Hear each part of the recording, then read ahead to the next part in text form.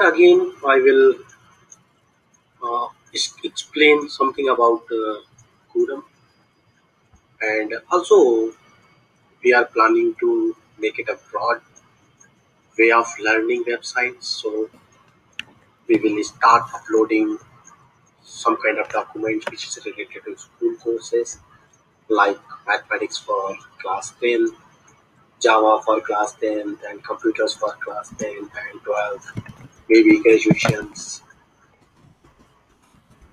everything will take time so as we just started before 10 days and we starting uploading some kind of documents which are very important in the industry.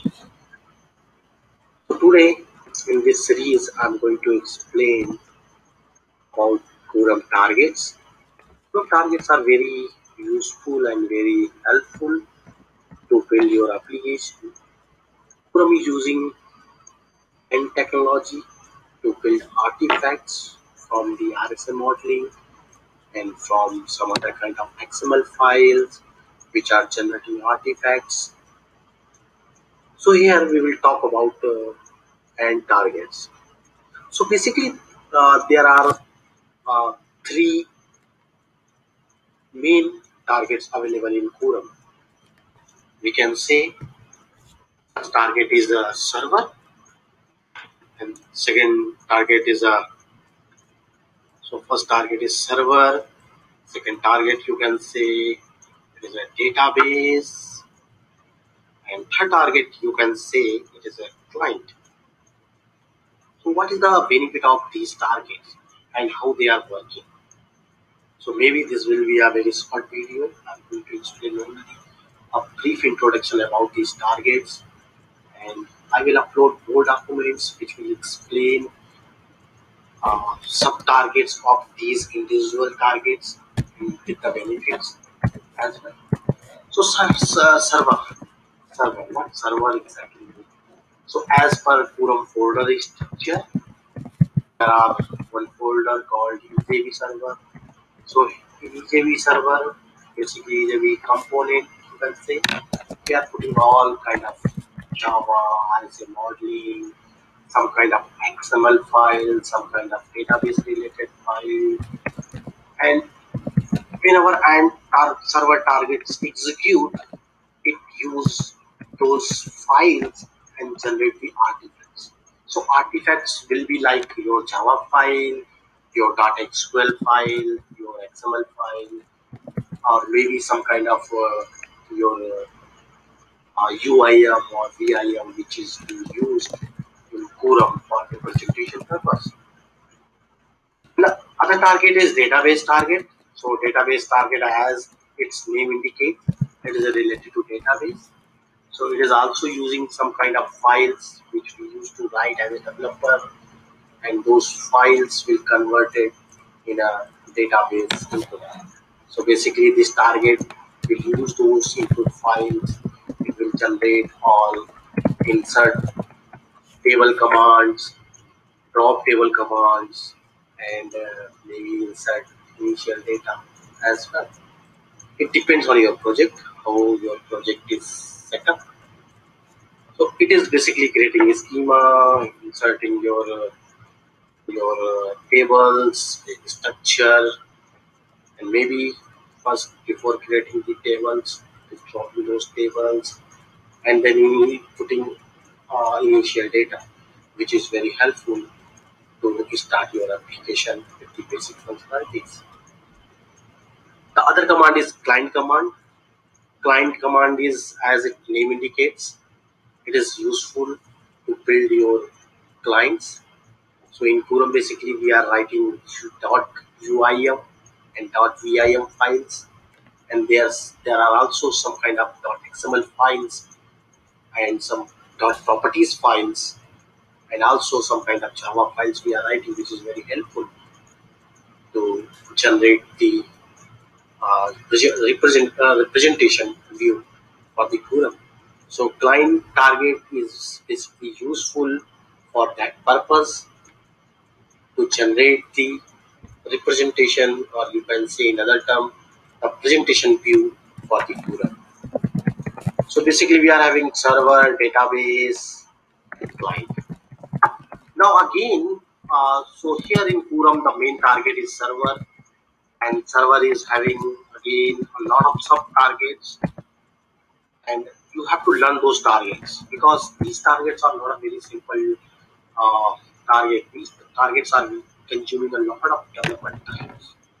So if you are changing anything and you don't know which sub command you need, that means you are going to spend one and a half hour. Maybe in some application it is more than that. So it depends on project to project.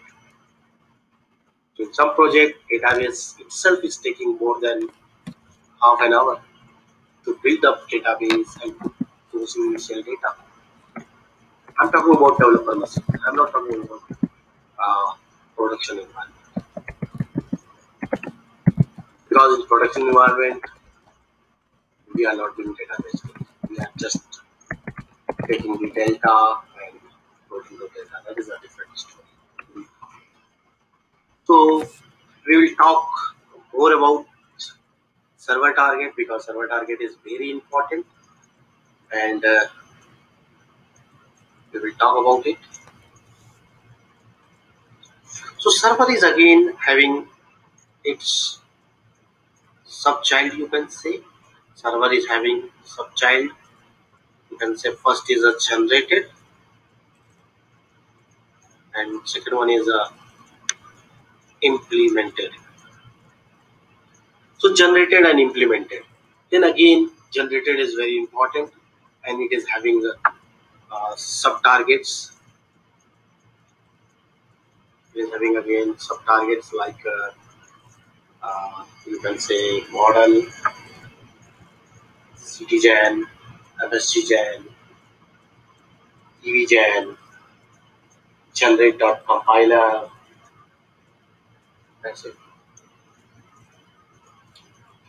so i will talk about uh, like model.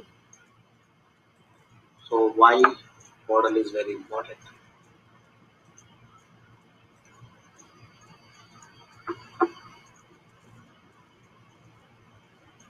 So as in Curam, we are doing modeling, UML modeling using RSA, Rational Software Architect, and it is pro pro providing one profile specific for Curam. So when we are setting stereotype based on that our generator when we run these commands target commands it generates their artifacts so model is a command which extract your rsa modeling and convert those model files into a java or maybe some other files like like uh, XML or properties. So modeling is basically converting your you know overall picture. I'm not going to internally what it is doing really. So I will just concentrate on Java file. Suppose you model one entity. Its name is sample. So what will happen in this sample? So you model a sample and you put it some kind of attributes like f name, l name, then what will happen in as per Curam artifacts? It will generate your interface, it will generate your base class, and it will generate your factory.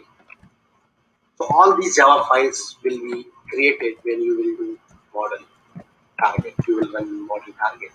So you can say build model target. So that will instruct your RSA modeling and converted that uh, model modeling in a Java files. So this is the important of model. Suppose you did something in model.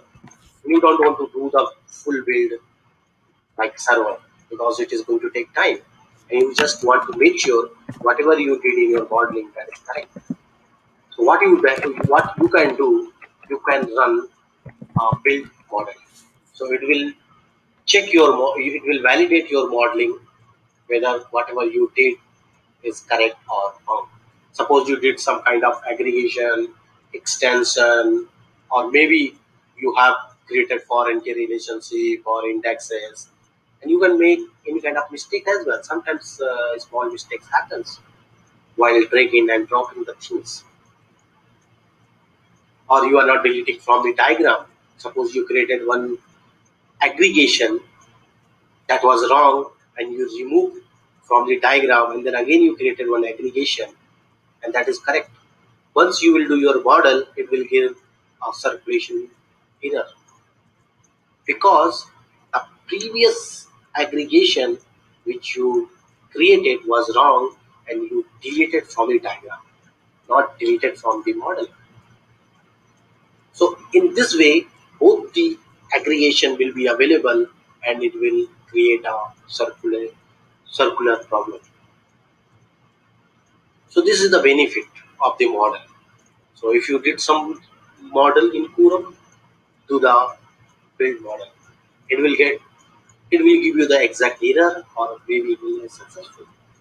So you are going ultimately you are going to save your time when you are running server or maybe generative at the last. Okay, so this is for model. Maybe I will represent some other targets like code table generation, message generation, event generation, and implemented database SQLs in my next videos. For the time being, thank you. Thanks a lot for your feedback which I got in my previous post.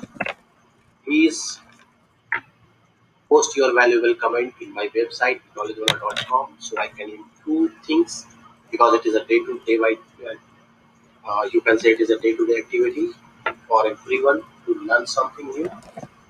Okay? Thank you guys. Have a nice day. Bye.